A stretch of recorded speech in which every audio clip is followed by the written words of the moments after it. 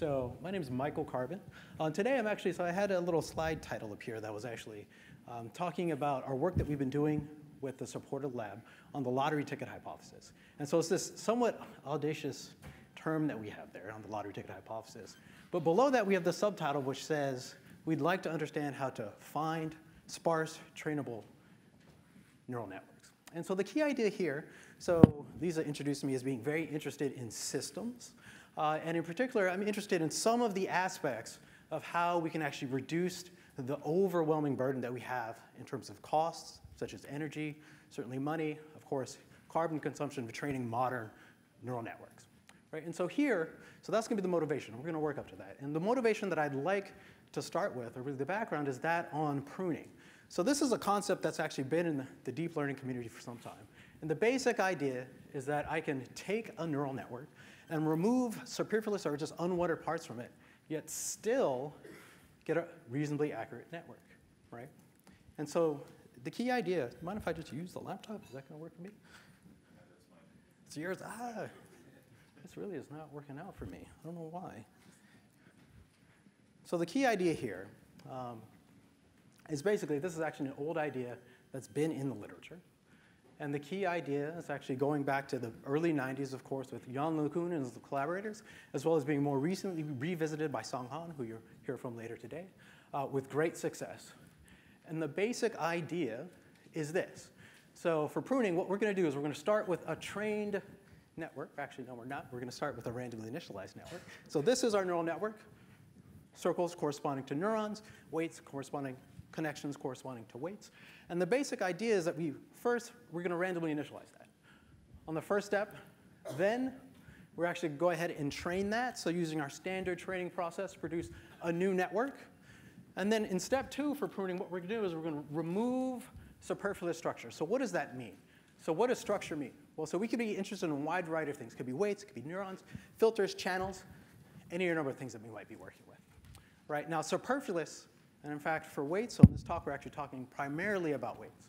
Now, for, super, superfluous, this can be magnitudes, so the, the size of these weights, the size of these structures that we have, right, or gradients, the size or the, the amount of gradient that's falling on some particular structure, as well the activation, so essentially how active these components are. So these subnetworks that we're looking at, you know, similar to how Atenu was talking about.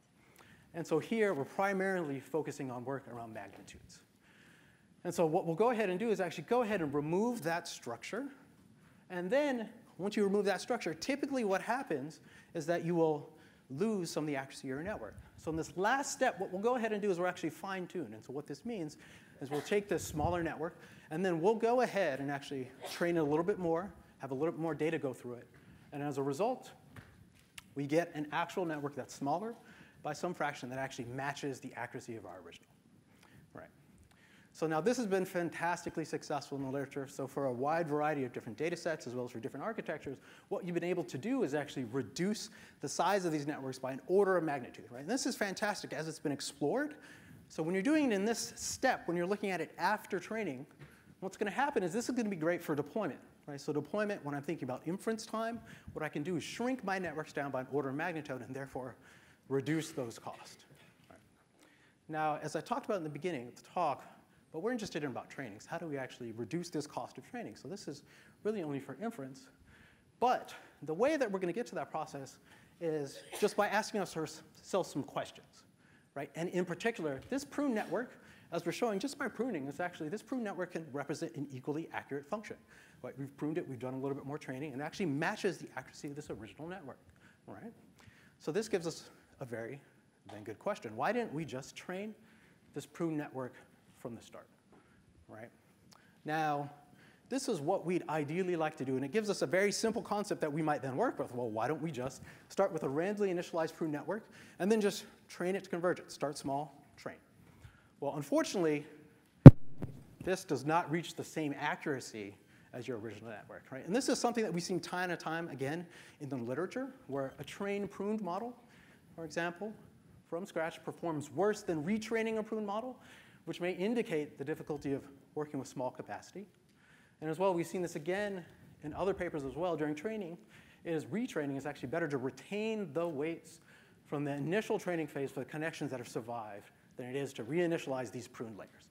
right? So people have actually been looking at this problem and wondering, you know, is this possible for some time without success, right?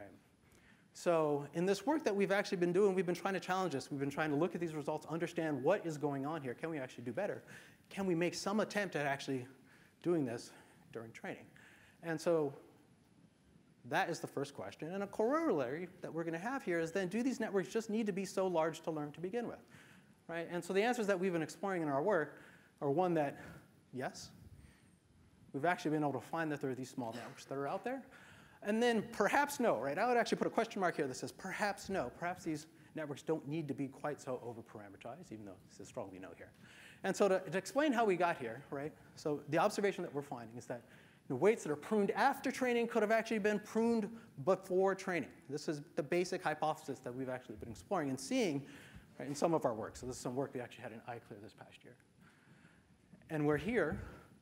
The key observation is that you need to use the same initialization. So everything that we've been seeing in the current literature is that if I try to take that small network, start from scratch, or reinitialize it, I'm going to run into problems. But we, we've been finding is that if you dig inside of that large network, you can actually find these very small networks that can train from scratch for the start.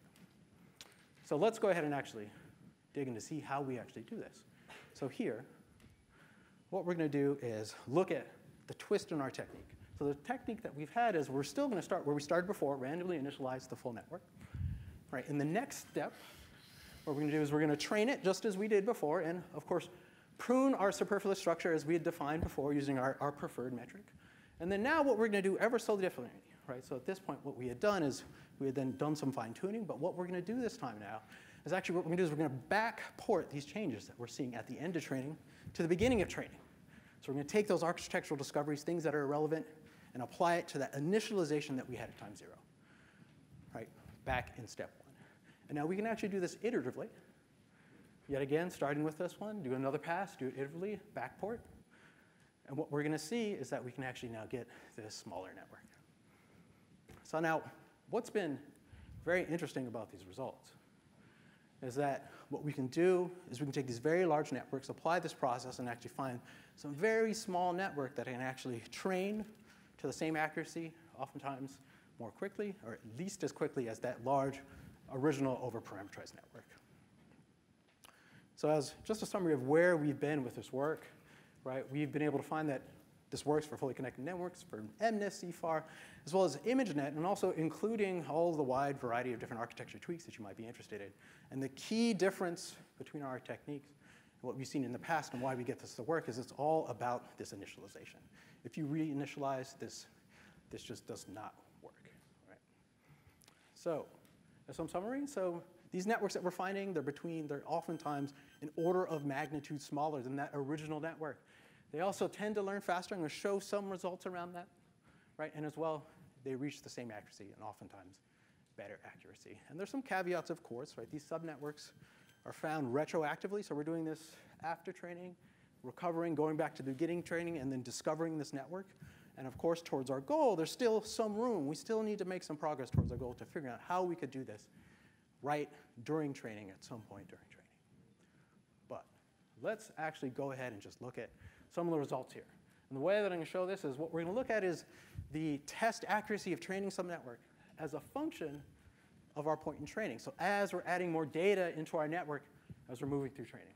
And so this is going to be actually, well, so this is going to be the data point 100. And so what this means, this is our original network that we're starting with. And this is for MNIST, fully connected, so I can show these results for all the different benchmarks that we looked at, but MNIST just makes the easiest, most clear distinction. So let's see. So we're going to start out with 100 here. So this is our full network. And so what I'm going to do is I'm going to bring in new curves that show these results, this behavior for smaller and smaller networks that we're finding. So here, this first one is going to be 51%. But what I've done, I've thrown away 51% of the weights. What we can see is this smaller, half the size network can actually still train to the same accuracy and ever so slightly a little bit quickly, a little bit more quickly. And if I go down to 21%, I get a little accuracy boost. I'll also get a little speed boost as well as how I'm getting there. And so I continue going down to 3.6%. Obviously, this can't continue on forever, right? You know, in the limit, I get no network. So obviously, this has to break down somewhere. And below about 3.6%, so 3.6% is we start to recover this original behavior that we're seeing. So now we're finding a network that's 3.6% of the size of that original network that trains just as well, just as quickly. Right? And so that's what we're able to find and show that promise of potential new opportunities to find these small networks that can train from scratch. So to make this a little bit more precise, and let's think about this role of reinitialization, if we called it. So I'm going to bring back in this line that we had before for 51%, but what I'm going to do is now add a dashed line. So this dashed line is going to say what happens when we reinitialize. So when we reinitialize, what we see is actually open up this gap. We aren't seeing quite the same behavior that we're seeing before. And this gap grows for the smaller network that I have. Right? And in fact, at some point, we're going to start, for example, if we get down to 3.6, we're actually going to see if we were to initialize, we can't actually match the accuracy of that network, the original network anymore. So to make this a little bit more clear, because if you start doing this, these graphs can get quite out of control. Um, but here, what we're going to plot here is going to be on this left side. We're going to look at, as a function of the percentage of weights that I have, how long it takes for me to get my accuracy, the accuracy that I care about. And on the right side, we're actually going to plot that accuracy. And so we can break this down a bit more, right? So we've got our left, we've got our right, or actually just have our left. And we're going to see that we're going to have percentage of weights remaining, and then on that left side, we're going to have the number of iterations.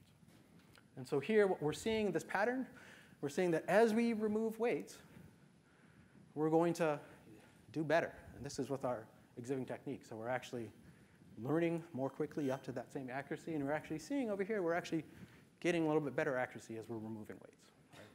And now where this becomes more dramatic from what we were seeing on those previous slides is when I do reinitialization, right? With reinitialization, I do worse as I remove weights. It takes me longer to actually converge. And of course, my accuracy drops off much earlier. So here there's one last point that we make as well, is we actually did some experiments around rearrangement. So is it just the initialization or is it also the structure that we have in the network? Is this structure important in some way?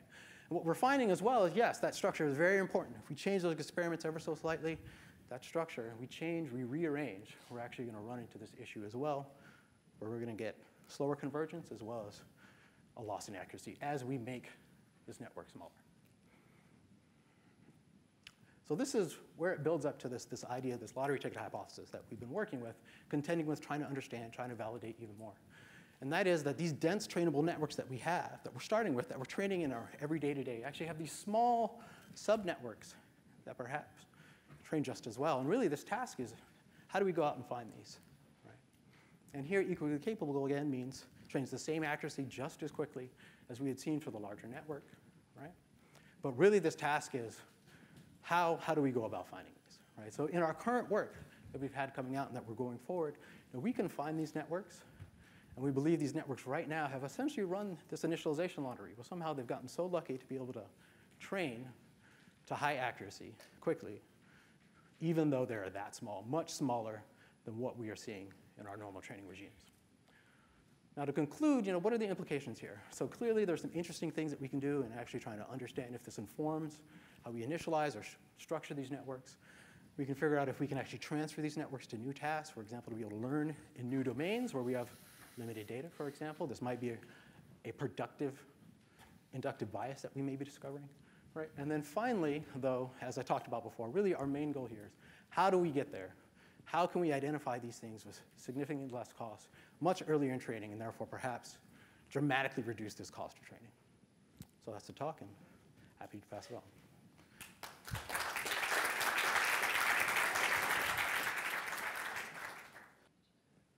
So um, this is an exciting time in deep reinforcement learning uh, because we now have systems that can do incredibly impressive things, like play games like Go at superhuman levels.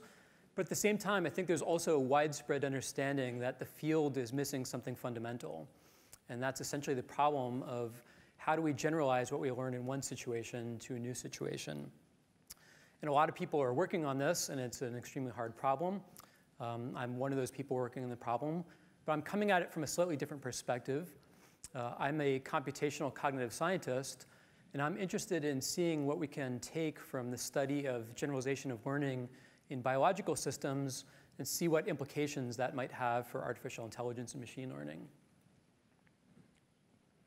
So if you're unfamiliar with reinforcement learning, this is the standard setup. We have a agent interacting with an environment by taking actions and getting some reward signal. The focus of my talk is um, the agent's control policy, which is a function that maps from the current state of the agent's environment to a probability distribution over actions that the agent should take in that state. And so as a simple example, um, you might take the game of learning, or learning to play Pac-Man. You have an agent who takes actions um, and uh, maybe runs into the ghost and dies. And so the question is, move backwards? Moving backwards seems to be a challenge. Um, is it possible to, oh, slides. There we go. And so the challenge is uh, you, have learned from this experience, but how do you generalize that to some new situation that you've never encountered before? So for example, you'll learn a policy for an orange ghost. Um, how does that generalize to a policy for a light blue ghost? And so the issue is that reinforcement learning has absolutely nothing to say about that. Um, reinforcement learning can tell you how to learn an optimal policy, but it tells you absolutely nothing about how to generalize that to new situations. So in practice, the way the field gets around that is by throwing deep neural networks at it. So we represent our policies using deep neural networks, and uh, sometimes those deep neural networks generalize, and sometimes they don't. And when they work, it's great, and when it doesn't work, then your paper gets rejected, and um, that's the end of it. So um, I was, like I said, I was interested in trying to figure out what could we can learn from generalization in human intelligence. And so if we take an example in biology, uh, blue jay um, learns that eating a particular species of butterfly is toxic. And so what can the blue jay learn about uh, other species of butterflies that's never encountered before? Uh, maybe similar looking species or species that look different, or maybe butterflies in general. And so the key to my research is the argument that um, information processing in biological intelligence faces severe capacity constraints in a way that uh, not adequately captured in modern uh, machine learning systems. And so we can formalize that. Uh, like most things in life, um, it boils down to information theory. But taking the idea of an agent's policy uh, as a mapping from states to actions, we can reframe that as an information channel. So the entering into the channel is the agent's current state, and on the output side of the channel is the action that the agent will take. And so what we're going to do is we're going to deliberately introduce a information bottleneck into that channel by restricting the flow of information from states to actions. So if you saw Yoshua's talk this morning, he argued that a useful objective for intelligence is maximizing the mutual information of our representations. So to be slightly controversial, I'll argue that maybe a better objective is minimizing mutual information. Um, so we want policies that are simple in the sense that they have low mutual information between states and actions. But at the same time, we want agents that have policies that have good utility. So uh, the argument is that uh, we should be training deep RL systems to optimize this objective, where it's a two-part objective, where on the one hand, we want to minimize mutual information, but on the other hand, we want to maximize utility. And so there's a natural tension between these two approaches. Um, it turns out that this corresponds to a well-known field in information theory known as rate distortion theory. And what we can do is apply that to deep reinforcement learning systems. And so to give you a concrete sense of what that looks like, uh, we can take the, um, the fruit fly of the um, machine learning world, the grid world. We have an agent who's starting out in this corner of the maze and wants to navigate uh, to get to the goal and wants to do it in as few steps as possible. Each step it takes costs it one unit of utility, and if it runs into a wall, that costs it more. And so it's a very simple learning problem. And in, from an information theory perspective, it's also fairly simple to specify what is the information content of an optimal policy. So in each state, you have four possible actions. And so we can write down an optimal policy as a lookup table where we need two bits per state in order to write down what the optimal action is for each state of the environment. And so the question is, what happens if we don't give our agent two bits per state? What happens if we say cut that in half and say you're only allowed to use one bit on average to represent your policy in each state? We want to build a theory that can learn an optimal policy subject to that kind of constraint. And so that's what we're showing here. We have this uh, graph On the x-axis, we're varying the tightness of the bottleneck. So as we move towards zero, the bottleneck gets tighter and tighter. And on the y-axis, we're plotting the cost uh, incurred by the agent as a consequence of having a capacity limited policy. And so out here at the tail with two bits per state, there's zero cost relative to optimal. And um, what we show is that as you tighten the bottleneck, costs start to ramp up. And so this isn't just kind of an arbitrary relationship. Rate distortion theory gives us the optimal relationship between information channel capacity and loss of utility. And so we can build reinforcement learning agents that find optima along this curve for any particular bottleneck that you impose on the agent. And to give you a concrete idea of what these capacity limited policies look like, we're taking three points along this optimal trade-off and just plotting the policy. So here the colors essentially indicate the randomness of the agent's policy. Uh, red is essentially behaving randomly. Uh, darker, cooler colors are behaving more deterministic. And so what you can see is that um, at very low information rates, the agent can't represent a detailed policy. It essentially just wanders around randomly. But the interesting point is at these intermediate stages along this curve. So here you have some information capacity, and it becomes a resource allocation problem. So the agent learns to learn detailed policies in states where it really matters. For example, we have these corridors where if you take one wrong turn, um, it will cost you a lot in terms of utility. Those are the states where you want to represent a detailed policy, but there are also regions of the environment where it doesn't matter what your policy is. Any action you take isn't going to cost you a lot in terms of utility. And so we're building reinforcement learning systems that learn these types of uh, capacity limited policies. And so the goal for the rest of the talk is basically just to illustrate using these very simple examples the kinds of computational advantages you get by deliberately imposing capacity constraints on your ability to learn or represent a policy. So one simple thing we could do is we can take agents train them in one maze environment, and then modify the environment by randomly plunking down uh, additional walls. Time lag here. Left.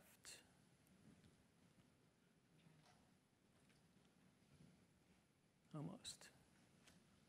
All right. So we randomly add walls and then examine how the agent's policy generalizes to the new environment. So the new walls are shown here in red. And so what you can see is that there's this Goldilocks zone where at uh, moderate information rates, its policy actually generalizes better. And so in one sense, this is essentially just adding a regularizer to learning. Um, and from that perspective, maybe it's not too surprising that uh, you're no longer overfitting your policy to a particular environment. But in another sense, there's nothing wrong with saying this is just regularization as long as it's the right kind of regularization. And so the argument is that this is coming from a principled framework. Um, we want to minimize the complexity of our policies while achieving optimal utility subject to that trade-off. So um, as another simple example, uh, this is the mountain car environment where you have an agent who's trying to drive a car up a steep hill. Um, it's underpowered, so it can't drive straight up. That's the optimal policy is to learn to rock back and forth until it gets to the top of the hill. Um, we can apply the same game by uh, looking at what reinforcement learning algorithms learn as we vary the tightness of the bottleneck. And so in this case, lower is better because we want agents that get to the top of the hill as soon as possible. And what we're plotting here on the x-axis, again, is the tightness of this bottleneck. y-axis is the average steps it takes. And what we're showing here is actually not better generalization, but better online learning. Um, so this is uh, the average steps per episode in the training environment without modifying the environment. So by restricting the capacity of your policy, you not only get better generalization, but you get better online learning as well. And so the advantage of working with such simple environments is that we can come up with um, an understanding of why that's the case. And so with a simple environment like this, we can actually plot their policy. So we have a two-dimensional state space for the agent, its position and its velocity. And here we're plotting its policy in terms of a color map. So red is uh, high probability of moving to the right, and blue is high probability moving to the left. And we can plot the agent's policy for three different levels of our capacity trade-off. And what you can see is that high capacities, um, the agent learns a very deterministic policy And at the other end of the extreme, it essentially learns a very noisy policy, which we can illustrate by overlaying sample trajectories. But again, there's this Goldilocks zone where at intermediate capacities, it learns the distinctions of the environment that matter. But for other regions of the state space, it learns um, that you shouldn't attempt to encode a deterministic policy. And so in human motor control, there's something similar. There's the concept of an uncontrolled manifold, which says that uh, the motor system tries to um, control the dimensions of variability that actually matter in terms of task performance, but there are a large number of dimensions that are irrelevant for task performance, and you should deliberately not attempt to encode a policy for those. And that's behavior that you only get by introducing this, this capacity constraint. So one last example, um, we've talked about better generalization, we've talked about better online learning. Um, I think another interesting aspect of this is that we can learn better representations of our task environment. And again, this is a very simple environment. Uh, we're going to be talking about a multi-armed bandit problem where you have a, you're facing a choice between uh, 10 different uh, slot machines, and through trial and experience, you just have to learn which one to pick that has the highest average payout. This is a contextual multi-armed bandit, meaning that on every trial, you're first given some state cue that tells you something about your environment. And so in this case, the state cue are digits from the MNIST data set. And so we train our agent. It's shown a, a state cue of this digit 3, and then it just chooses which arm to pull. And we repeat that using a sample of, say, 100 digits from the MNIST data set. And then what we can do is look at how well it generalizes if we test its performance on digits that it's never seen before. So maybe we've trained it on this pixel pattern, but then at generalization, we test it on a held out sample of MNIST digits. And so again, the argument's kind of consistent throughout. There's this Goldilocks zone. Here we're plotting performance on the training set um, as a function of the bottleneck of its policy channel. And so for training, higher capacity policies are better. You can preserve fine-grained distinctions of your environment. But then when we look at performance uh, on generalization, uh, we find that by forcing yourself to throw away information, you actually achieve better performance. And so the claim here is that uh, what's going on behind the scenes is that this agent is actually learning digit categories. So instead of learning a, a mapping from pixel patterns to responses, it's learning uh, a, a, useful category structure for its environment. And the key point is that this is entirely um, driven through reinforcement learning. This is not supervised learning of digit categories. It learns digit categories not because it's been supervised or instructed to, but because it's a useful representation for this environment. And so to conclude, um, the general argument is that biology um, often faces strict limitations on information capacity. So encoding detailed policies takes metabolic expenditure or takes protein synthesis, but it's expensive for biological systems. And so evolution places a constraint on minimizing the complexity of representations that organisms have. But at the same time, evolution favors representations that have good utility. And so the argument is by drawing inspiration from biology and formalizing that in terms of the mathematics of rate distortion theory, we can achieve uh, better generalization of learning and reinforcement learning. And so with that, uh, thank you for your time and attention.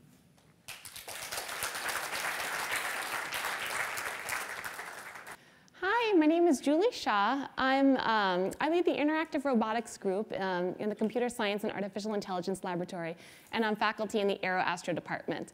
Um, my lab and I work on reverse engineering the human mind to make robots that are better teammates. Um, and you know, we work um, in an area you know, surrounding the future of work, and this is a time of growing anxiety of the role of AI, computing, robots in our lives, and in particular, um, how they have the potential to supplant human work. Um, the vision for our lab's work is to be intentional about developing computing that augments, not replaces, human capability. Um, and I've worked for many years in um, human-robot collaboration in manufacturing. So I'll just start with a stat here. Uh, worldwide, there are 1.8 million industrial robots in operation in factories around the world. So that's the same number as the human population of Boston, Pittsburgh, and San Francisco. So cities are chosen strategically. Um, and then, so if you were to guess, how many um, robots are there in our homes in the United States? How many? So, so here, are you ready for this? It's, it's 30 million. 30 million robots in our homes in the United States today. Um, and we don't often think of robots sort of being you know, that integrated into our daily lives. Um, those 30 million are things that actually look like robots, like Roombas. Um, those are not counting um, you know, the, the new set of security uh, robots uh, patrolling apartment complexes, parking lots, delivery robots on the sidewalks of San Francisco. It's not counting um, uh, sort of Alexas, Google Nows, et cetera, uh, smart homes, which are essentially robots. Um, as of this spring, um, 500 grocery stores around the country rolled out these strange robots to go, roll up and down the aisles of grocery stores to inspect for spills. So these robots are still, um, you know, coexistence systems. They live in our environment, but there's relatively few of them that we're interacting with on a daily basis. They're performing functionally narrowed tasks in controlled environments and essentially under near constant, in, in the meaningful sense, human supervision. So I want you to imagine a moment um, in the future where we have many, many more of these on our roads, on our sidewalks, in our workplaces. Um, these are systems that um, don't understand us, right? Um, so now imagine, you know, you're a student driver uh, on a road with a thousand other student drivers, um, which are essentially what these robots will be on our roads and on our sidewalks. So that's not sort of a scary vision of the future. That's actually our current day today. So you may have noticed um, December 2017, San Francisco actually banned sidewalk delivery robots. There were so many companies testing these systems on the city streets um, in San Francisco that the elderly and people with disabilities came together and said, these systems don't understand us and we frankly don't feel safe with them. And so as a result, the city relegated the testing to an industrial sector, a non-populated area of the city.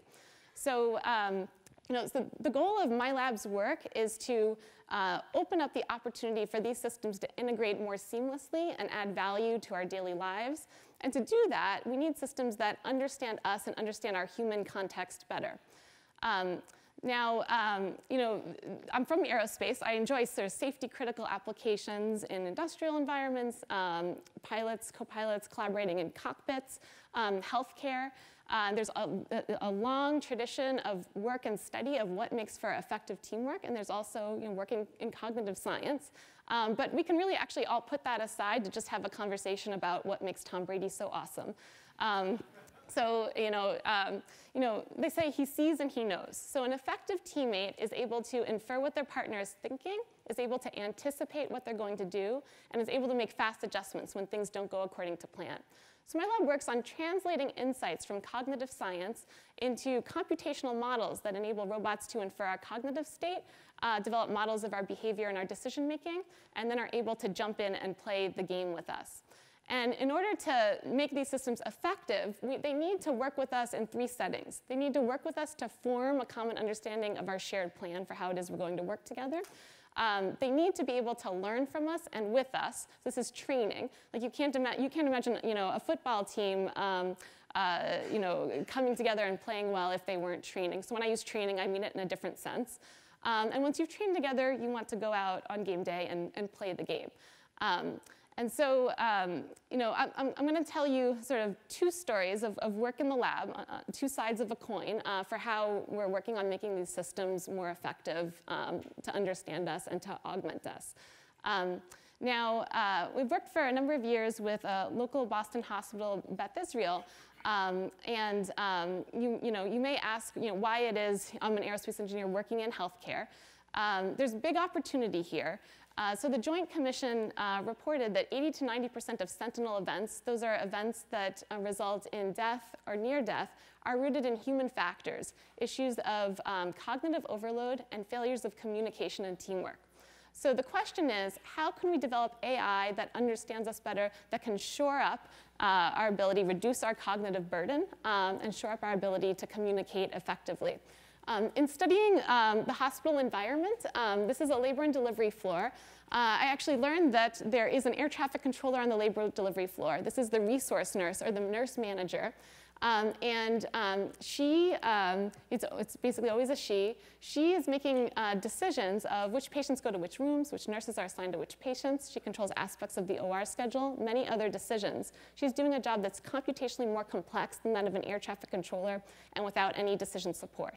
Um, and there's no codified training process. She learns this job through a, a period of apprenticeship over many years, in some case, decades. Um, and so um, there's a lot of implicit knowledge there that's, that's not codified. So the question was, could we develop a machine learning model that's able to learn from relatively limited data in an environment where we don't have a simulator or emulator, and we don't um, uh, have a clear objective function. Um, and um, can, we, can we learn essentially the strategies or heuristics that these, these nurses are using to make their resource allocation and scheduling decisions?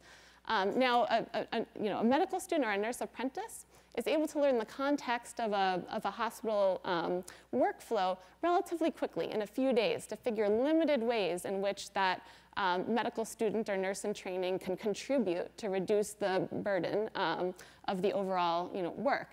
Um, and so what is it that makes people so capable of learning so relatively efficiently with little data? So we know that in this context of uh, task allocation and scheduling, essentially human multi-criteria decision making, that humans learn effectively through um, comparisons, and in particular pairwise comparisons. And so we took this insight from cognitive science and developed a structured machine learning model uh, to learn um, a pairwise ranking model. Essentially, the machine is um, uh, watching the nurse's decisions and computing those differences of you know, what makes this situation different from that decision and, and automatically computing positive and negative examples from that.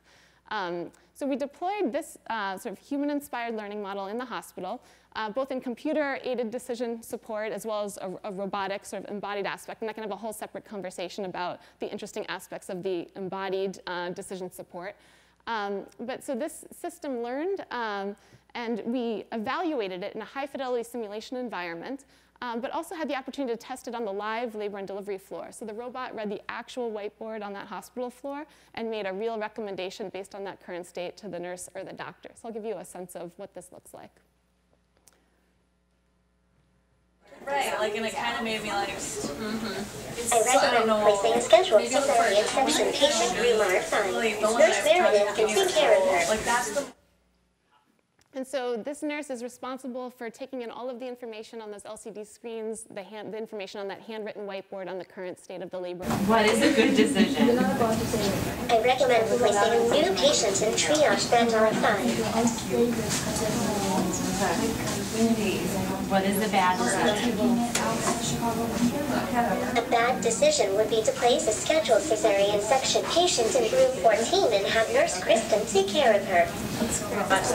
Ginger, what's a good decision? I recommend placing a scheduled infection patient in room 10. Nurse Meredith I don't know if you plan to go back or what, but for me it was like this the one. Well, I always plan to go back. Ginger, what's a bad decision? We are not A bad decision would be to place a scheduled cesarean section patient in room and have Nurse Andy take care of her. I agree.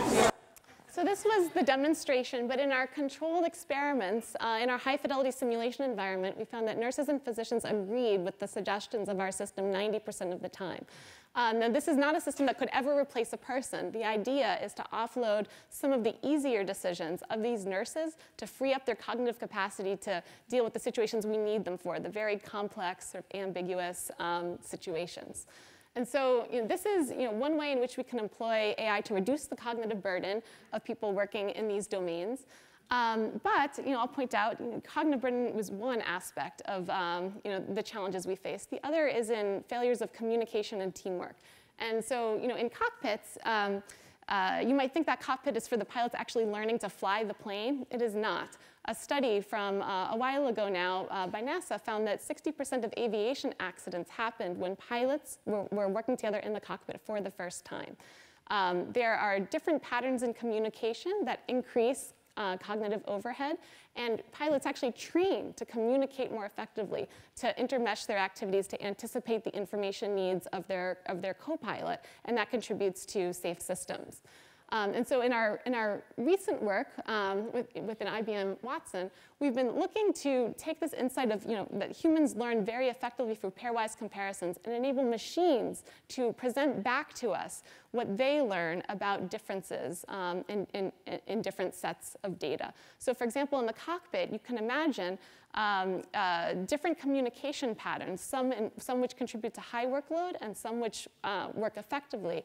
You'd want the system to potentially provide a contrastive explanation, a comparison or contrastive explanation back to those pilots to improve their ability to learn and train um, and effectively fly the aircraft together. So prior works, uh, for example, from the software verification community, focus on mining summary explanations. In this work, our aim is different. We want to generate contrastive explanations describing how multiple traces um, uh, differ from each other. Um, and so, you know, this has many applications beyond the examples I've provided you here. Um, the, um, you know, the prior work in this, so taking a pair of traces um, and inferring a specification of time-evolved behavior, for example, linear temporal logic, uh, use uh, sort of exact learning techniques um, which provide one contrastive explanation, and they're, um, they, they're, they're, susceptible to failure when you have noisy traces, as you do with any real-world data set. And so we developed a Bayesian technique, a probabilistic Bayesian inference model um, that uh, infers a contrastive explanation in the form of LTL between two sets of um, execution traces. Uh, so it offers substantial robustness to noisy inputs, um, it uh, quickly generates multiple explanations, um, and it allows flexibility incorporating preferences at various levels through that inference um, and search process. Um, but the key to making this work is the fact that you need to structure that hypothesis space. And we have a, a, large body in cognitive science on sort of the structure we design into real world systems, into our software programs and the ways we explain system behavior to other people. So we draw from that literature a template of uh, two dozen plus um, uh, patterns of behavior uh, to structure the hypothesis space to infer LTL specifications very efficiently. And so in this work, uh, we, we tested, you know, this is, this is an HCI paper presented this past summer. We, we began, began by testing this work within the um, domains of the automated planning and scheduling community international planning competition and uh, domains of, of, various sizes. Our model is able to infer multiple contrastive explanations uh, and identify the true ground truth explanation with very, very high accuracy with quite fast runtime on the order of seconds. Um, and uh, the prior work, uh, which generates one solution, um, often either fails to generate a solution um, in the specified time or outputs a single explanation, and, um, uh, which may not correspond to, the, to, a human's mental model for uh, understanding the behavior of the system. And so, um, and again, uh, it's a Bayesian model, so it provides you substantial robustness to noise. Uh, again, in these domains with moderate noise, uh, we're able to maintain very high accuracies of inferring that contrastive explanation that holds across the data sets. So this is an example of taking insights about how humans learn uh, effectively uh, with very little data um, and being able to not only reverse engineer a human's behavioral strategies, but then explain back to a person uh, with those contrastive explanations to facilitate the training, the co-learning loop between human and machine. And so this is two small steps towards the ultimate vision of systems integrating, inferring our cognitive state, and supporting us in both cognitive and physical work. Thank you.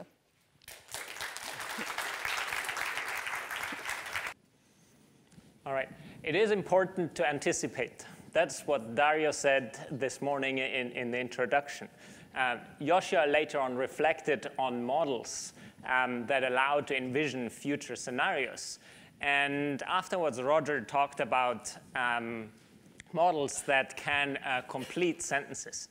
Now, I want to show you um, kind of our view on this uh, anticipation behavior of different models. And with our view, I mean the view of, of a set, uh, set of talented uh, graduate students at UIUC. I call them the magicians because they are the ones that really deserve all the credit. They make all this work. Um, now, I guess it comes at no surprise to everyone that computer vision and machine learning have had an incredible success in, in the last couple of years. Models which analyze, and I deliberately use the word analyze here as opposed to predict, uh, work very well, right? If we look at tasks like image classification, object detection, semantic segmentation, or human pose estimation, we achieve incredible accuracies at, at this point in time. So are we done? And I would argue actually we're not done, nowhere close. On our quest to personalize life, what we actually need is models which anticipate. Right? If you're driving on, on the road and you're seeing two kids, like the, the two on the left-hand side, chasing a ball, you're constantly wondering, are they going to step aside and yield to oncoming traffic, or are they going to run into the middle of the road without paying attention to the traffic? So we're constantly checking um, what is happening, and we're looking forward what could possibly happen. But I would argue that we don't have algorithms and, and systems that, that are very good at doing this at this point in time. And those type of systems require us to combine on the one hand, the vision of David Marr, who kind of proclaimed this 2D to 3D reasoning, with the vision of the neuroscientists um, Rodolfo Llinás and Kenneth Craik, who said that a creature must anticipate the outcome of a movement in order to navigate safely. Um, so how can we develop these systems uh, that can anticipate? Um, and according to our opinion, there is four steps to it. Uh, we need to have, first of all, a uh, holistic object understanding. We need to know how, to, uh, how objects interact with each other, um, how to learn priors of our environment, and how to capture ambiguity. Now, I don't have the time to talk uh, about each and every one of those aspects. Instead, I just want to focus here on, on the first one. Um, now, holistically understanding object is something that we as humans do almost flawlessly. If we see an image like the one on the left-hand side, we know that the bedboard is supported somewhere from below. Um, so the bedboard doesn't stop in the middle of the air, it has to go all the way to, to the bottom. Similarly for other objects. Or if I look at the image here on the left-hand side, we see this stack of disks, and I know that there has to be a table somewhere, or it has to go all the way to the floor. Similarly, on the right-hand side, we know what elephants typically look like. And so we can complete an elephant despite the fact that there is a significant amount of uh, occlusions. Um, but I would argue while uh, humans can perform this task to reasonable accuracy, it is actually quite challenging for AI systems. And part of the reason why it's challenging is that um, it it's tough to get occlusion reasoning to work because there is, it's very expensive to actually get ground truth data. We have very, very little ground truth data. In fact, if you check what are existing data sets in, in this area, you, you, can see that there's roughly three data sets out there. Uh, they're called by names like COCOA, D2S, and DYCE. And while COCOA has real-world data, it's actually a, a, subset of the MS COCO dataset, barely 5,000 images. Um, so not, not exactly large scale at all. Similarly, um, then there is this, I guess, groceries on the table data set, which you know, is not exactly a day-to-day -day environment that, that we encounter all, everywhere on the street. And then we have a synthetic data set, which is composed of static indoor scenes. Now, what I would argue is missing in all those aspects, uh, or what is common to all those, is the fact that those are image data sets. But what is missing is the temporal information.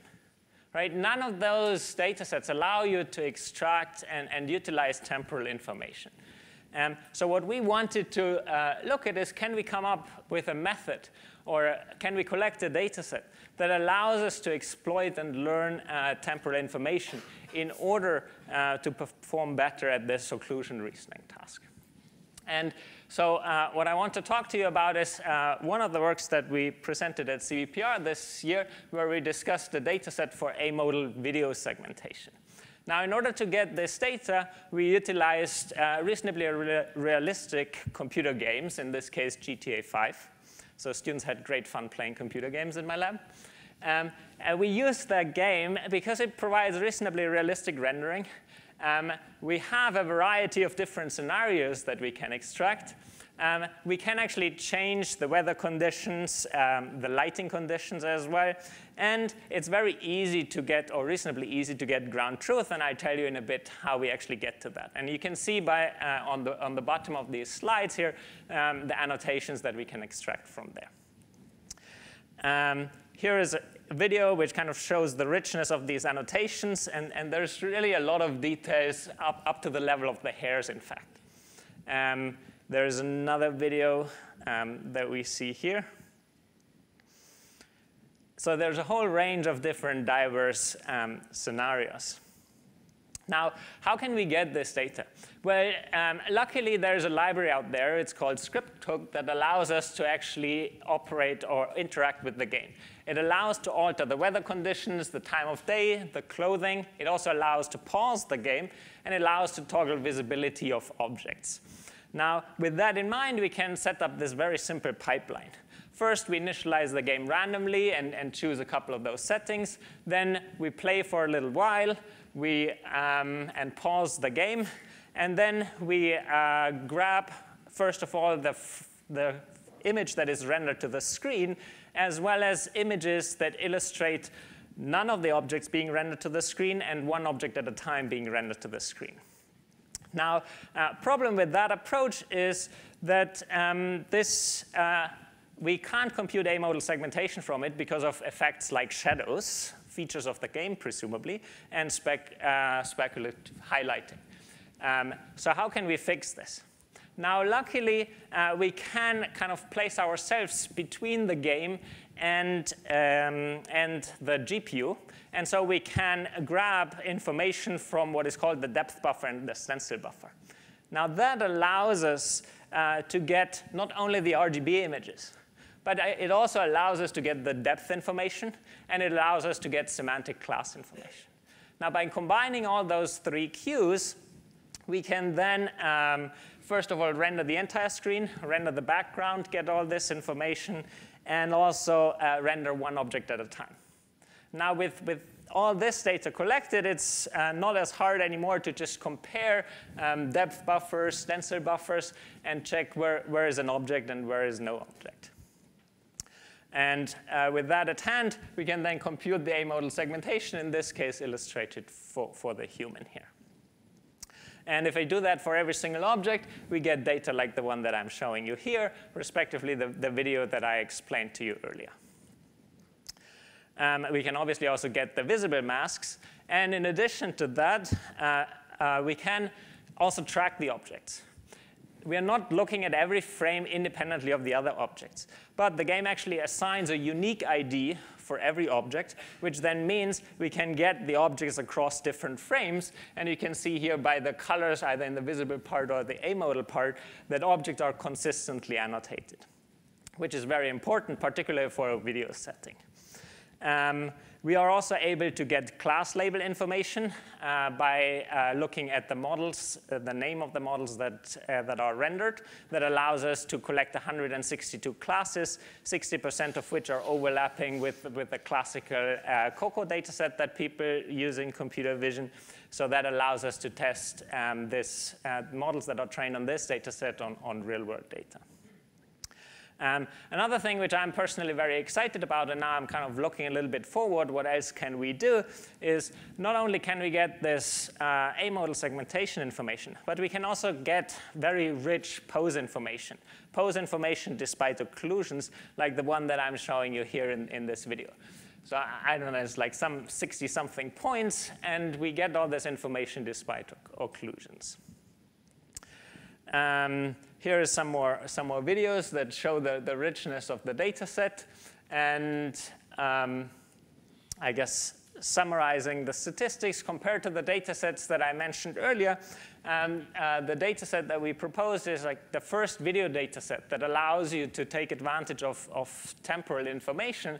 And it has um, whereas at a uh, number of instances, we have 1.8 million instances that are labeled, which in this case is very easy because uh, we just have to run the game, uh, whereas other data sets are uh, around 100,000. Um, we also tried a couple of baselines on this model, which I, am not going to go too much into detail. We used standard uh, benchmarks, uh, mask RCNN for, for those who are familiar, which we slightly modified um, to not only predict modal segmentation, but to also predict A-modal segmentation. And we wanted to understand how well do, do those systems work, work in this case. And we saw that they perform uh, reasonably well. In fact, the numbers are on par with um, segmentation results on, on data sets like COCO, which is encouraging, at least for the modal part. Obviously, there is a significantly more challenging A-modal segmentation where we are no, nowhere close to that. So that's kind of, you know, going forward, something that, that we want to understand. How can we develop better models? We also uh, showed, and I'll refer you to, to the paper for details, on um, the fact that video signals actually are, or temporal data is, uh, allows to improve the models. So the hypothesis that I initially made that uh, we can exploit temporal information uh, seems, seems to hold here um, some more qualitative results, which show that in some cases it works, but there is also still a, a lot of cases where it fails, particularly for the A-modal part. So um, there's a, a, big challenge ahead where I would you know, encourage all of you, you know, please take a look, and if you're interested, um, try it out. We'd be very excited. Uh, let us know if you have any questions. Um, we also tried um, to run that model on real-world data. Uh, as I mentioned before, we can apply those models and transfer what they learned to real-world data. It works to a reasonable degree. Um, obviously, there's also still room for improvement here, as this, this last video highlights as well. Uh, some results. In some cases, particularly if the model or the, the person is as easily visible and has hardly any occlusions, then it's, it's very uh, easy to get it. But in many cases, that the model uh, comes up with predictions that are actually not there. All right, with that, let me uh, wrap up. Uh, what I talked to you about is a dataset for semantic A-modal instance level video object segmentation. Um, there's a rich set of ground truth information um, that we have made available. Um, it, you can leverage temporal information for that. And uh, by applying the, your models to datasets like COCO-A, you can also test it on real world. Thank you.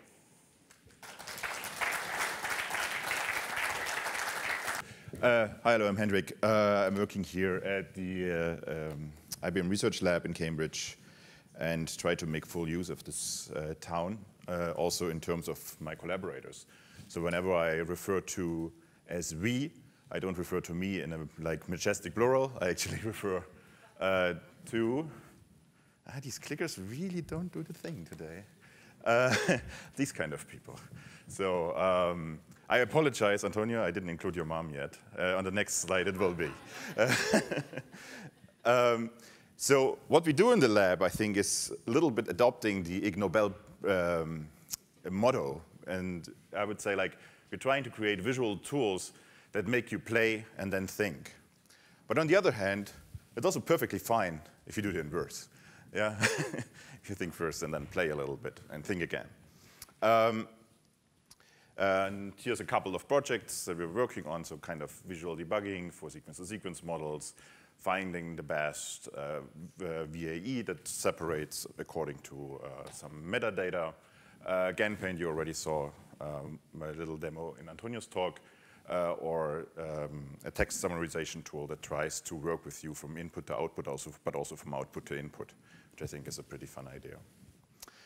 Okay, but today it's going to be about Gantidotes. And since we couldn't decide if it's a GAN with an A or a GAN with an E, we used, uh, I think it's a Danish letter, eh, eh umlaut, uh, to um, speak about visual Gantidotes. And Antonio already highlighted it in his talk. Uh, these are faces from 2014.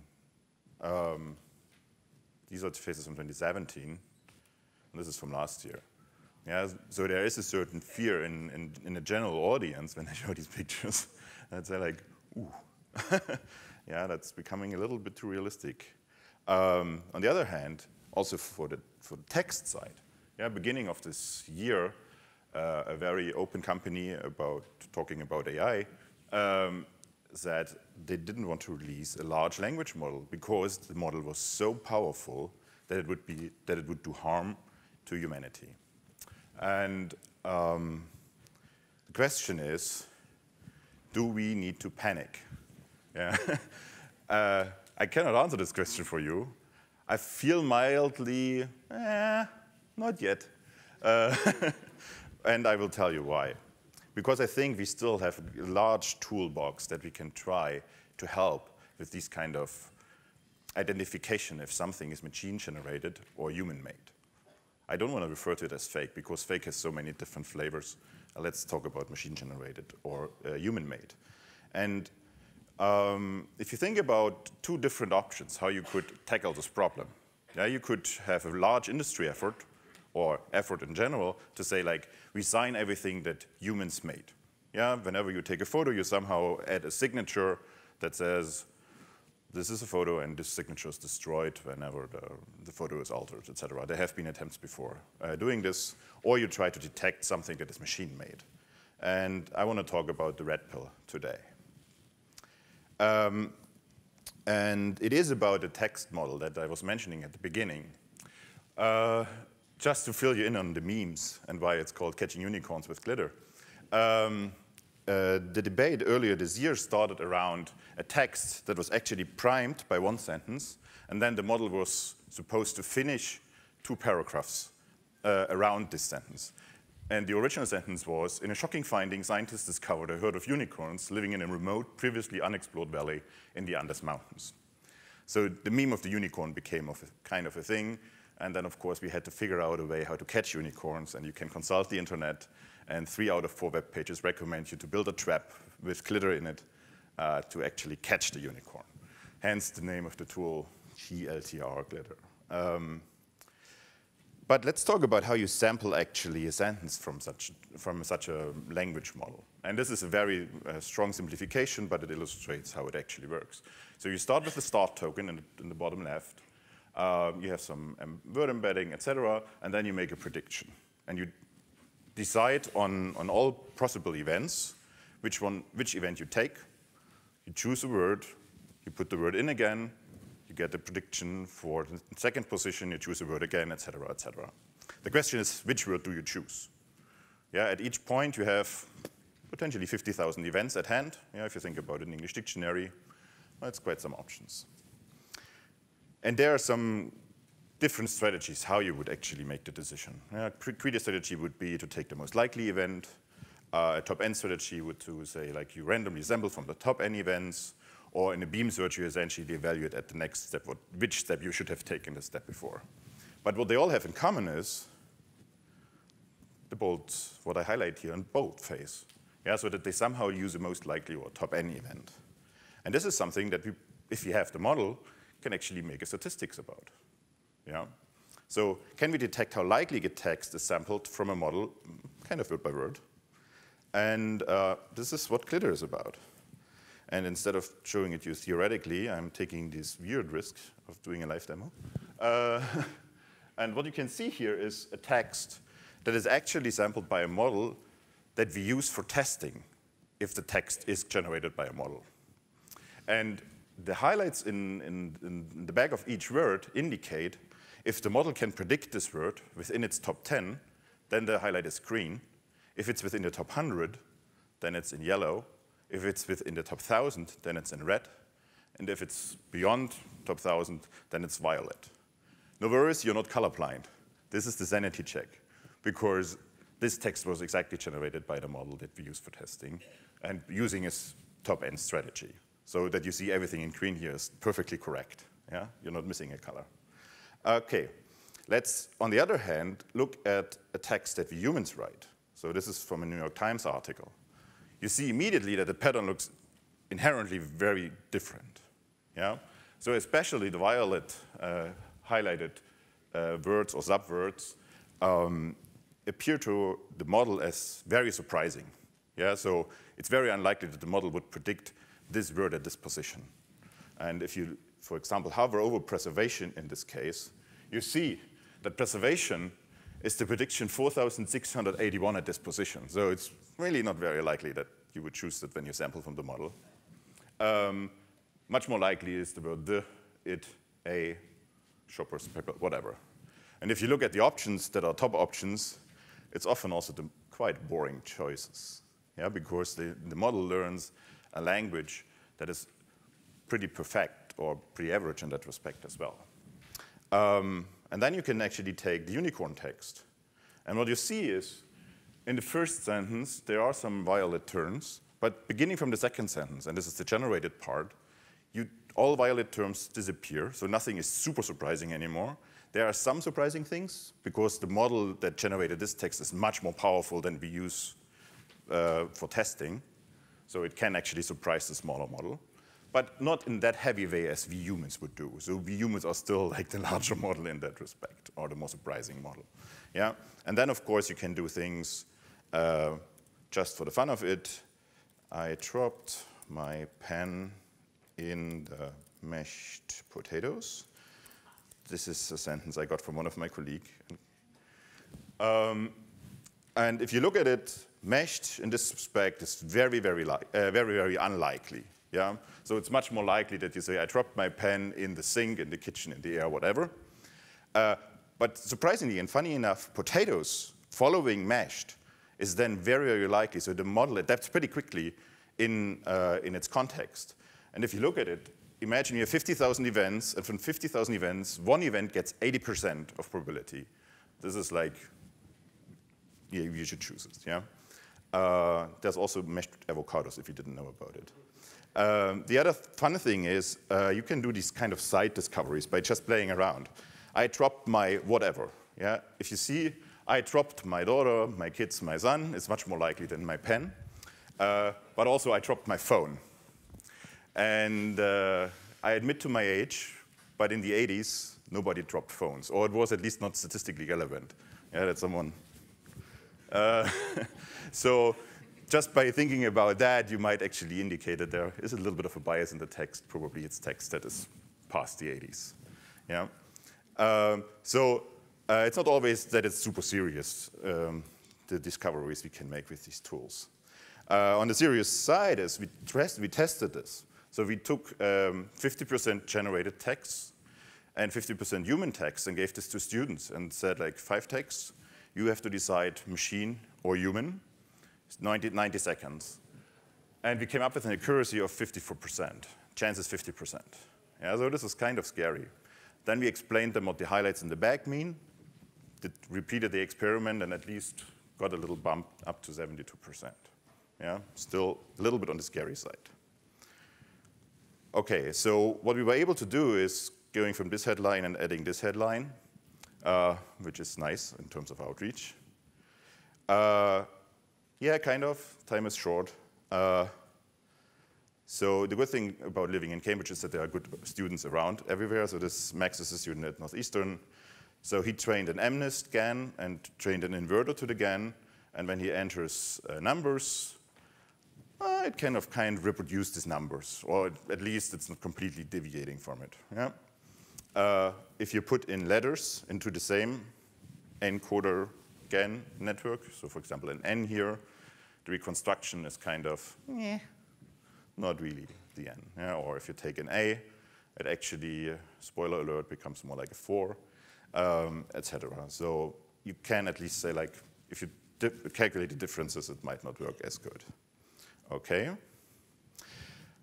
Last question I want to quickly address is, is human AI collaboration really needed also in the future? Because yeah, a lot of things we can automate. And my little point I want to make is if you think about the attack defense loop, yeah, so here you have a plane uh, going from classification clear dog to classification clear flower. What adversarial attacks try to do is essentially yeah, putting the dog onto the flower side and using this way as kind of their energy to do it. And normally what we try to do in defense mechanisms is make at least this. So make it much more, that you need much more energy to put the dog over the border. Yeah, so make these things separate uh, better. But there's this sweet spot in between here, yeah, the white spot, where you do not exactly know hmm, yay or nay. And this is actually where humans in the loop probably still help. And also because there are some examples where you really cannot make a clear distinction if it's a dog or a flower. And that in that matter. Thank you very much. Okay, great. So now we're at the, uh, the Q&A section of the, the talk. Uh, I think if you haven't already, please do you know, enter your questions on Slido or upvote uh, you know, other people's questions. At some point, we'll show the questions on the, the screen uh, and be able to ask them. Uh, let's see, maybe, uh, looks like these might have been from some of the previous talks. Are they? Um, we can try. Yes. No. Okay, they're oh they're both okay. All right. Hard. All right. Well then let's uh, let's go ahead and uh, get started on this. So, what type of hardware innovation will drive the improvement of AI systems in the next few years? Anyone like to, uh, to answer that one? It's kind of, that's why I was thinking it may have been from a previous. um,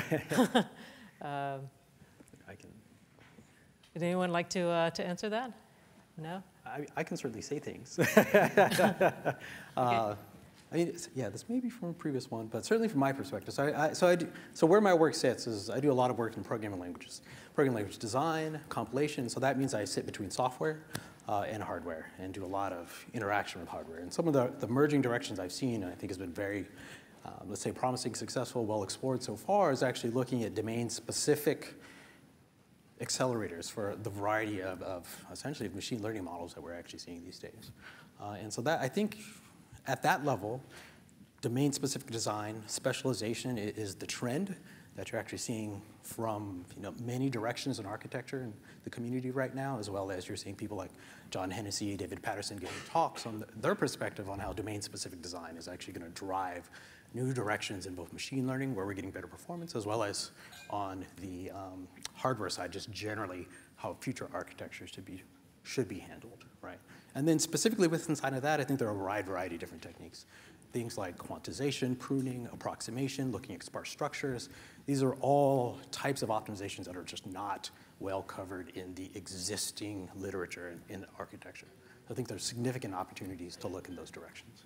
Okay, great. Thanks, Michael. Anyone else want to do that? Otherwise, we'll, we'll move on. Um, so I see there's a, there's a question for Hendrik, right? Specifically in terms of, you know, can't any detector for GAN-generated content be used as a discriminator for a new GAN? You guys can't see it. That's the reason I'm reading it off. It's down towards the, uh, down towards the bottom. Oh, it even, oh God. Oh, it's not from, it has a Z in there, but okay. Uh, uh, okay. Um, that's a good question. Um, I don't want to reach out too far, but um, I think can I detect yes, as a, yeah. I'll tell you what, we, we can, would you like us to come back to you or? Uh, yeah. I, okay, that's not a problem. okay, I, I do actually also think this one on introspection is, is from a previous section, but I'll just, uh, would anyone like to answer the one on introspection? If not, I'm gonna go down to the one for Alex right? Uh, basically, you know, uh, the computers don't know what they don't know, and is any of your work. I think that was I think that was from Yoshua's talk, so I'm gonna I'm gonna keep going. Um, let's see. So uh, one of the uh, I saw one one went away. Okay. That's interesting. Okay, so this, this Slido app worked a lot better last time. having a little bit trouble with it uh, with it this time. So um, this is a general question. Uh, what uh, near term, what are the most uh, near term exciting practical use cases uh, coming for your field? Maybe, maybe, would anyone like to, uh, to answer that? I think, Antonio, you and I are going to start asking the questions if, if we don't start hitting. so you want to answer the first one? So there is would one question like for Alex, maybe? Oh, the first, oh yeah, I, I, went to the bottom, I didn't see that one. Um, how do I propose to target anticipation, anticipation tasks based on, on your data? That, so I guess two, two things that I, I have in mind there is, on the one hand, you know, given an observation, we can try to anticipate how should that scene look like a few seconds from now. Um, with video data, that is easily doable. Now, you might recall um, Yoshua Bengio's talk, right? He, he was saying, we are not envisioning, you know, in pixel space. Um, uh, we are kind of envisioning in, in latent space. So these, these ideas apply there too. So likely we're going to come up with, you know, with a system, and I'm kind of giving away some of the research that we're probably doing right now. Um, so, you know, coming up with a system that, that comes up with a, a, latent space object, and then from that latent space object, we're trying to reconstruct the scene. Now, I also briefly alluded to um, uh, using um, pose data, right? And I, I, just briefly showed that on, on one slide. That's another approach that we are actually taking, right? You have the, the current human, the, the human pose at, at the current frame, and you're trying to envision um, how, did, how is that person moving? What is that person doing? Um, in, in the next few frames and, and, how can that person move. So these are kind of two, two directions that we're currently assessing and, and, and we're seeing um, which one works better uh, and why, so that these are kind of questions that we are studying. Um, I hope that answers this question. Okay, great, thanks. Um, so another question here that we've got is, uh, you know, are the prune networks uh, somehow better for interpretability? So that's probably for you, Mike. yeah, that, that, that's actually a fantastic question. Um, so my student Jonathan Frankle who's been involved in that project. Actually had a brief had a brief collaboration with David Bau and one of Antonio's students um, actually on this question. And they've seen so far some of the preliminary results. If you apply pruning, it actually doesn't let's say, it doesn't affect, so you don't lose the interpretable structure. Um, but whether or not it improves interpretability, we don't quite have the evidence there yet, but it's definitely a question that we're interested. And one thing I would say though is, so there's this whole other class of techniques where people are actually looking at how do I, for example, actually verify that my neural network is doing something reasonable? How do I verify, for example, that it's robust? Uh, and I think if you look at many of those techniques, a significant limiting factor is the size of modern networks. So I do think that things like pruning can actually make those techniques much more scalable looking into the future, and perhaps these goals of interpretability robustness can be much more in scope if we think about techniques like pruning. Maybe I'll ask a question that's just kind of building on that a little bit, and that is that, uh, so the work that you talked about is, is famous maybe for two reasons. One, it, it got best paper for, uh, for ICLR, uh, but the other reason it's somewhat famous is because uh, the enormous amount of compute uh, that it took to run the experiments themselves, right? So yes. Uh, it's, at least it's, you know, it was done on the IBM cloud, so that's why it's, it's famous in, in IBM land in terms of the, the amount of compute that it... Significantly supported by IBM. yeah. Many people know our names. so, so, my, my, so my question is, you know, is any of your work either on the approximation techniques or otherwise to help with the experiments part of research, right? As opposed to just the training of the networks, right? No, I, this is a fantastic question as well. Um, I mean, so there, so if you look at you know some of the work that is, or some of the, the, the processes that are out there. So Yann LeCun actually has this position paper that was actually a, at a circuits conference um, last year, uh, talking about the types of emerging hardware systems, software development systems, just methodolo methodological concerns that we might need for doing these experimentations. And one thing, if you look at that paper that he separates, is the fact that when you're still doing that model design, you still, you perhaps don't want to look at pruning, you perhaps don't want to look at approximation, because you want to make sure that for any given architectural decision you might be making, you, you are getting the fullest opportunity to see if that thing is successful. Mm -hmm. uh, so I think it's, I think there are real methodological questions about how people approach designing their networks and whether or not approximation can actually be inserted very much in the get-go. Um, I hope there are opportunities. I hope there are ways of thinking about making approximate decisions where you're making you know, optimal subject to regret or something along those lines. Mm -hmm. But these are very initial ideas. I think this, this, these methodological concerns are very much questions that people like me in programming languages and software engineering really care about. You know, how do you build software? And it just happens to be the case that now that software includes neural networks. So, so we are answering these questions, but yeah, we don't know the answer. okay. Um, let's see. Maybe another question to uh, maybe to go across more of the panel, right? Uh, so uh, that is that, uh, you know, earlier Yoshua, you know, kind of said, hey, you know, for the research that I'm doing in my lab, I'd really like to see some complementary research in the neuroscience field, for example. And this panel is interesting because we've got a mix of people who are doing the algorithms in the back as well as people that are really thinking about the human interaction pieces of it. And so I was kind of curious about, you know, to maybe ask, uh, you know, each of you, you know, if you had the ability to kind of influence uh, some of the work that was happening on the other side of what you're doing, you know, what would you, you know, what would you ask, you, you know, the complementary research uh, to be? I don't know, uh, Julie, would you hmm. like to? Uh, Let's see. So. Um, yeah, so, so that, that's a great question. So the, um, much of the work in our lab has looked at how we can leverage insights about the cognitive science of how a person models another person um, or learns relatively efficiently to design structured um, learning models to, um, to improve the efficiency with which a system can learn about us. Um, and you know, from, from my perspective, I think there's a really interesting question around like what does it mean? Um, what does it mean to develop a predictive model or a behavioral model of, of, essentially what's an alien entity, right? We have millennia of experience of building up, um, sort of like evolving our ability to predict other people's behavior within um, a social context. Um, and now we have systems that are that are alien to us in multiple ways. They don't look like people, which is one issue. Um, but another really interesting issue is that they, um, when, when in our experience have we had to learn how to work with a, a system that's also learning online, um, but whose behavior is, can change overnight. So think about, for example, a Tesla and a software update um, overnight.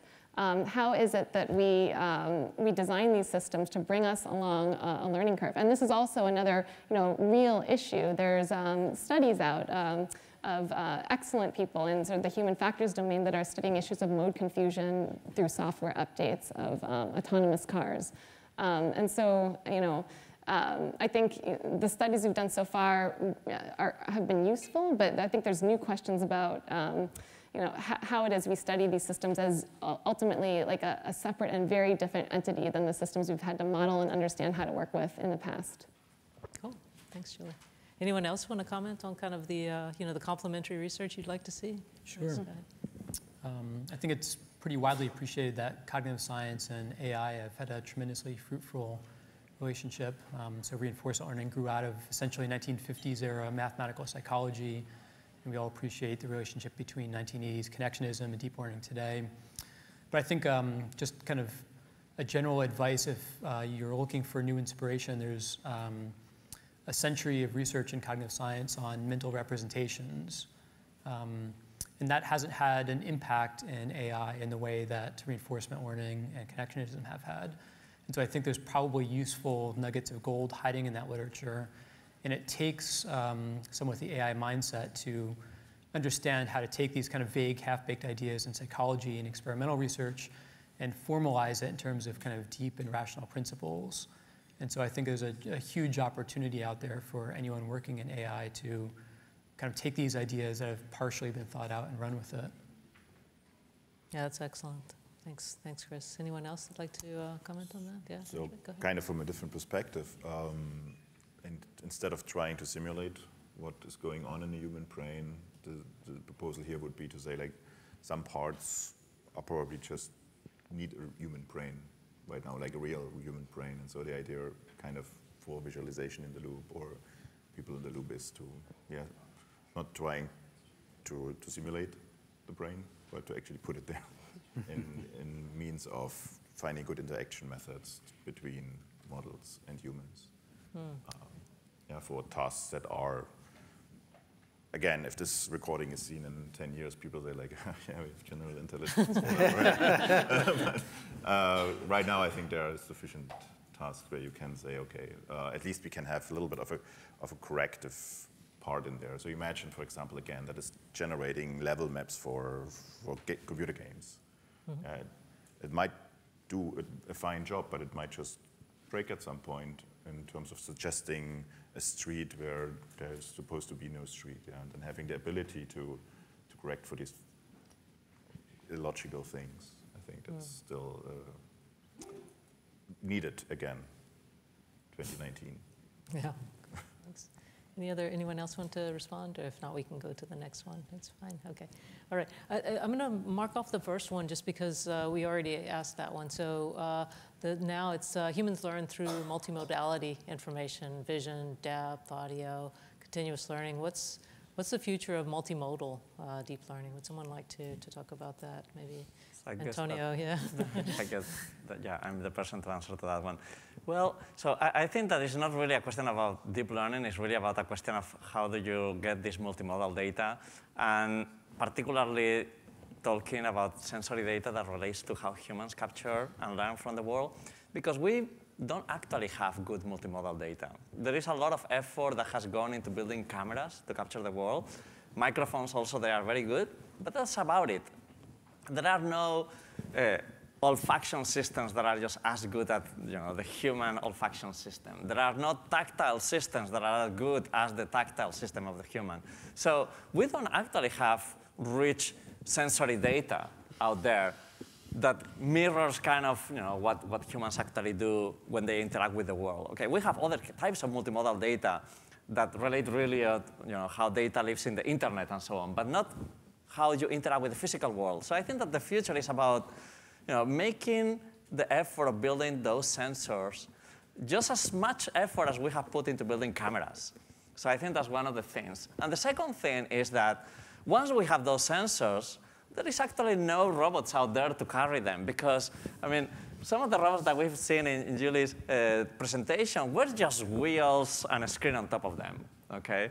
Uh, and in the best case, you have a va vacuum machine that just walks around. But there are not the robots that, when we think of a robot, we think of a robot with arms that you know, help us cook, you know, or do something useful at home. There are not such robots. I mean, this is why when you say 30 million robots are at home, no one really thought, you know, where are they? I haven't seen any of those 30 million robots. They're certainly not in my home. Because you have to expand the definition of robots to, you know, to start thinking of robots that we don't really think are you know, the robots that we really want to interact with or that will help us. So I think the future of multimodal deep learning is not really on the deep learning side, it's on the building the sensors and building the embodied you know, devices that will actually carry those sensors and do interesting things, and we like both. Great, thanks, Antonio. Um, we also asked the hardware innovation one, so if you could just mark that one off and this next one as well. Um, I think maybe what I'll do is uh, take a modification of the one about uh, getting physics, uh, you know, kind of into the, uh, you know, physics in the real world. Uh, maybe modify it a little bit because I think that it, uh, with a little bit of a modification, it also applies to both not only Antonio's work, but Julie's work as well as Alexander's, and that is, you know, so we've certainly seen, you know, with the GANs that you can, you know, incorporate into simulators better, you know, uh, representations for kind of the real world visually, right? But physics, uh, semantics of the real world, how people actually really work, you know, is there any, you know, work that's going on there to try to bring that uh, better into the simulation that could be used uh, for training the systems? Do you want to say something? Think you can go ahead. Okay, I can. I can so, yeah, yeah. So, so we are doing some work on that direction, and there is a lot of work out there in trying to incorporate more. So GAN-based models, for instance, or neural networks, that there, is, there are a few pieces of it that really uh, make very explicit certain properties of the physical world. So, for instance, you can have uh, uh, dynamical systems that try to predict uh, the future, and there is a neural network that will encode or capture some properties of the stimuli, but then there will be a dynamical system inside that will look very much like the traditional dynamical systems that people have been using to make those predictions over this uh, representation that you have to learn. You don't know what the appropriate representation is, but you know what the dynamics should look like. So you incorporate that, and through this bottleneck, the system learns to discover a, a representation that is compatible with the dynamical system to make predictions. Uh, there is work also on, on for instance, uh, using 3D, uh, 3D representation. So you know that the wall is 3D, and so the, the, the, representation can generate images by having a layer inside that really knows about perspective projection. And that's just hard-coded into the system. And people have shown that these systems can learn some really interesting representations of the world and discover 3D structure when the only thing that you gave was really the fact that there is this thing that is perspective projection into the rendering engine, but you didn't specify what is the perspective of what that has to be discovered. So yeah, there is a lot of interesting work coming out okay. in, in, this mixture of you know, neural networks with a little bit of hard-coded uh, physics. Physics and semantics. Yeah. Anyone else like to talk about that? Or? I guess another work to highlight in this direction is these, you know, these simulators that people use. Many of, of them also uh, incorporate physics into this now. So mm -hmm. um, the question then becomes, and I'm not aware of anyone having really studied that, but I could be wrong on this, is, you know, what, what type of physics do those systems then, then learn and, and how do they capture it? Yeah. Um, but I think there's definitely a lot of exciting work also, like Antonio mentioned, um, that is go going forward in this direction. But I, I would still say that you know we're, we're at early stages in, in this area. Okay, great, thanks. Yeah. Yeah, I, I would say I, mean, I, would say two terms to look out for coming from you know the systems and let's say software engineering community and prob and programming languages community are the concept of software 2.0 and then also differentiable programming. Where I think what they're actually trying to do is, is this: I specify some part of my system just using normal traditional code that I can reason about, and then there's another part of my system which is a neural network and I sort of fused them together, and that allows me to do end-to-end learning for some given task, but there's some part of it that represents fundamental structure in the problem that I can reason about ideally. Right? And I, I just pointed to you know, Julie's Yep, yep. LTL, Yep. for example. Yep. You know, LTL is a, you know, a very logical way to do that and think about that process. Uh, but you can think about richer, uh, richer expressions of how do you specify these, these logical properties using just regular code. I mean, we take um, model-based approaches to engineering um, large, complex systems. It's sort of, it's um, uh, the ability to uh, to bring that in and, and use the right representations and the right models for a particular application, and, and be able to augment that with um, learning from data is just extraordinarily powerful. Okay, cool, thanks. Uh, you can see this uh, question in terms of the use cases, right? I guess people are really looking at, okay, you know, maybe a little bit more in terms of the near-term uh, aspects of what might be use cases for your for your work. What what can we watch out for, as as Michael was saying? Any uh, comments, Hendrik? You, yeah. I just want to highlight there are also impractical use cases that Okay. come out, uh, which can still be fun. So Yeah. uh, part of our lab is also trying to do some artwork, uh, and I think these are probably considered impractical in a technical sense, but can still be interesting. So um, we have also in collaboration already some ideas how to kind of not used information actually Mm. we, we have um, to, to help generate new ideas Yeah. or at least new Yeah. visuals that might inspire. So not just to make decisions, but to help to inspire people, so to speak, to be maybe more creative, or you know, Yeah. take So- them to places they are not familiar with, right? yeah, I think there's, I- I, I met a lot of people who say like, uh, I'm not creative. okay. I, I'm, I'm, I'm an engineer. and I, I'd like to challenge that a little bit. Yeah? Some, sometimes you're not creative because you, you feel you don't have to. tools. Yeah, could it change the game? Is what you're saying? Yeah, that suddenly people could be much more creative. That's a nice. That's excellent. Anyone else want to talk about uh, use cases uh, for new? I guess one thing I can briefly mention is, f- f- you know, uh, thinking about my work and, and this, this anticipation um, uh, line. Um, I, I actually just got an email when was it two days ago or some something like that. Someone mentioning to me they're looking into trying to prevent accidents in um, uh, in working environments. Uh, so they're trying to look at you know look developing models that look forward and, and, and see could, could there be a, an accident happening like two seconds, five seconds from now, and, and then warning people about this. Oh, that's very cool. Um, which, admittedly, I haven't thought about this Yeah. at first. When I got this email, I was like, this is actually an interesting thought. It's a very interesting thought. I mean, how, how like how far away do you think we might be to starting to give people? Because it doesn't. The nice thing is it doesn't have to be exact, right? I mean, it just needs to try to give them some insights, right? So. Uh, do you feel like that's something that's you know a couple of years, or it's much further because of just it, it just needs to be, uh, you know, I, I'm not directly working in that field, so I'm, I'm, I don't feel like I'm qualified to answer that, that question. Um, but I, I would argue, you know, that, that is one, one case. I, I can also see similar work in the direction for, you know, um, I guess for elderly trying to detect are they, are they tripping or are they falling down. There's, I think, work in this direction as well. Um, Yeah. So I, th- I think you know there's a variety of, of works um, that, that try to, to go into this direction. How far away we are on this? it yeah, it's hard to say. is- Yeah. I wouldn't want to anticipate that. Okay, very good. Uh, what is the project from a third-person perspective or from first-person perspective? About- I, I don't know the Okay. details about this. I literally just I, I got the email. I, I need to get back to it and, and, and Okay. So one, one could be like a tool for Schadenfreude, the other tool could be. sure. Okay, great. So um, we, we are going to go to a break now. Uh, we, we're having a shortened break, so about 10 minutes. So if everyone could be back here at 3:45, but there are refreshments outside. So uh, let's let's thank the speakers, please.